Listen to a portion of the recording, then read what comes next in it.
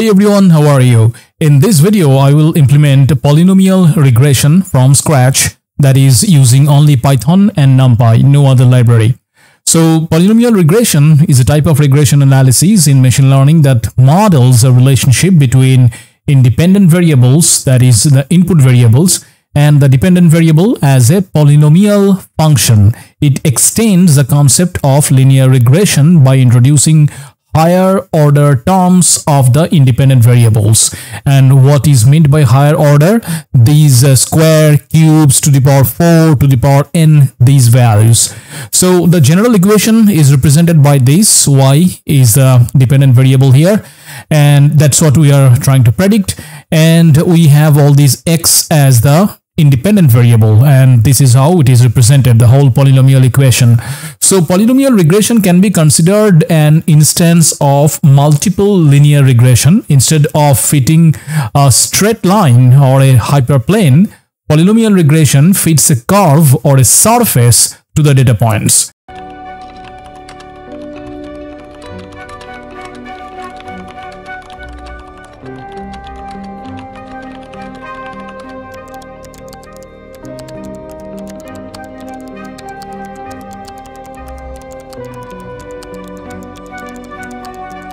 So this method uh, calculate gradient uh, calculates the gradients of the loss function with respect to the weights and bias and this is used uh, in the backpropagation step of gradient descent optimization algorithm.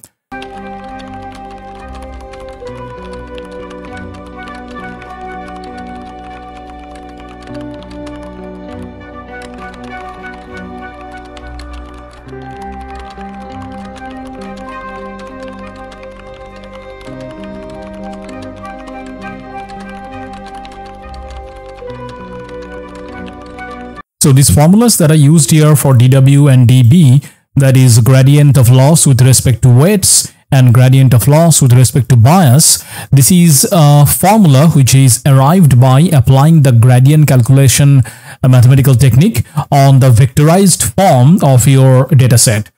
In case you are interested, there's a multitude of uh, blogs available online. You can just look through them for actual derivation of these mathematical formula. But for gradients uh, most of the libraries directly use this formula because the mathematics behind is not really needed just for implementing the formula here.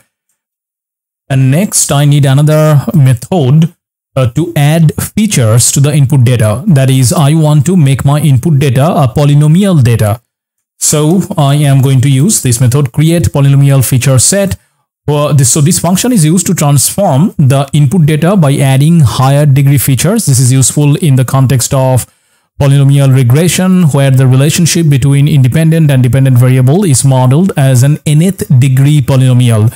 So for example, this is the important comment that I have put um, just for understanding.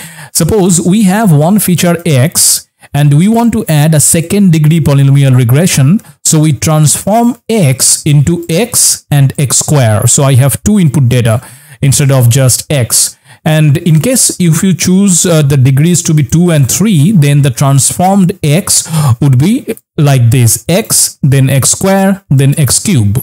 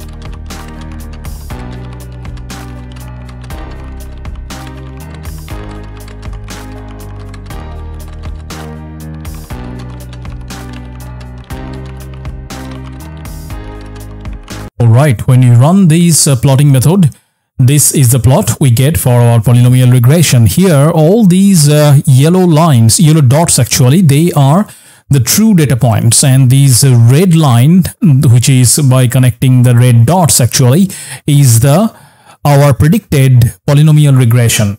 That is, these red dots are all these y hat, which is what we get after executing the predict method, which will give us a predicted y values, that is the dependent variable predictions.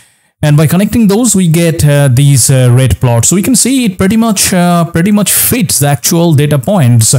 But we can measure the uh, how much how good the fitness is by calculating the R square score. So next we will do that and uh, we will apply this method here. Of course, we could use sklearn's uh, inbuilt method, but here as we are doing it from scratch, so I'm going to build a quick method for calculating the R square. And the formula I'm going to use is uh, this one where SSE is the explained sum of square is the sum of the squared differences between the predicted values and the mean of the dependent variable. And TSS is the total sum of square is the sum of the squared differences between the actual values and the mean of the dependent variable. And uh, in both formulation, R square ranges from 0 to 1 a higher R squared value indicates a better fit of the regression model to the data, where 1 indicates a perfect fit and 0 indicates an absolutely imperfect fit. That is, 0 means that the model does not explain any of the variance in the dependent variable. So let's see what our score is.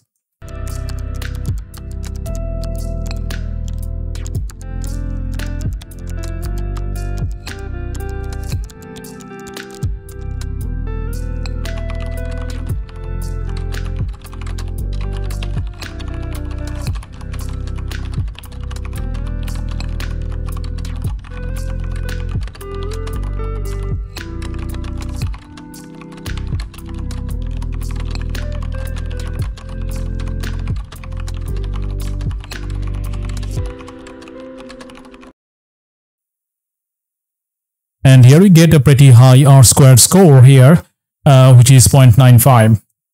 That's a wrap for this video. Thank you very much for watching. Stay tuned. See you in the next one.